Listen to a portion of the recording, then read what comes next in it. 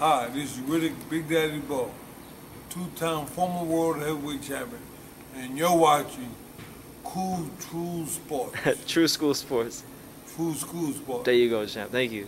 Well, it's personal between me and and I'm going to do you some serious harm, you big stiff idiot.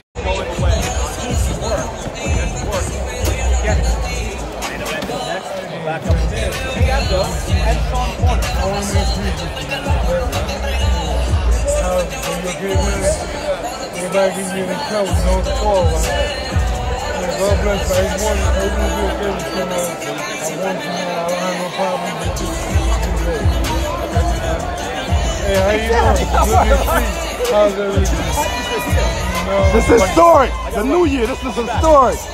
It needs to happen. It needs to happen. Long overdue. Long overdue. I just thought we didn't fuss too many years. Yep.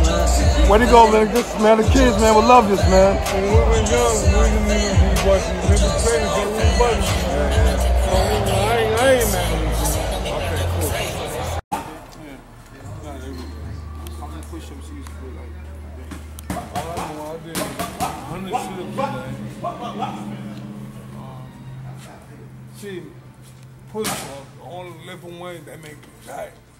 So, I, I just hit the bag for the most part. Every now and then I may do a push-up, but it wasn't, because I didn't want to get real tight.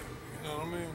I don't know if you ever seen me fight before, but you see as a heavyweight, I was, I threw, I threw a lot of punches, and they were surprised, so I didn't do, I didn't lift weight. I didn't want to be tight. so, so, so you don't think it's safe for me to lift weights? It's gonna, it's gonna make you tight and slow you up. However, a grown man. That's what makes you comfortable and that's what you like.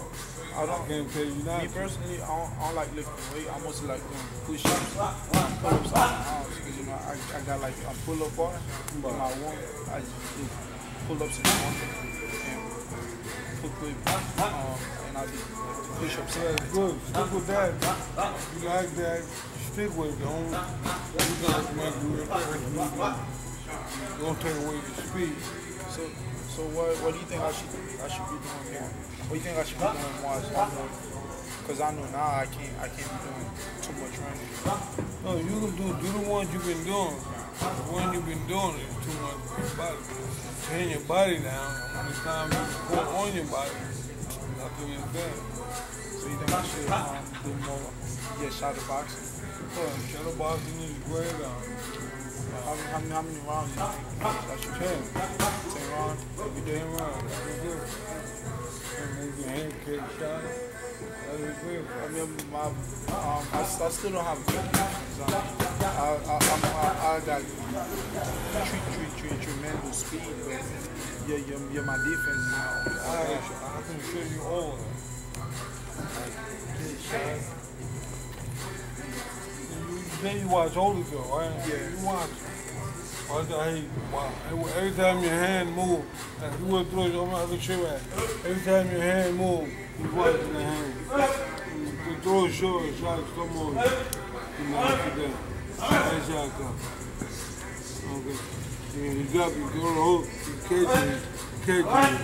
You never get that on a clean shot. I'm, gonna show you how you do that. I'm,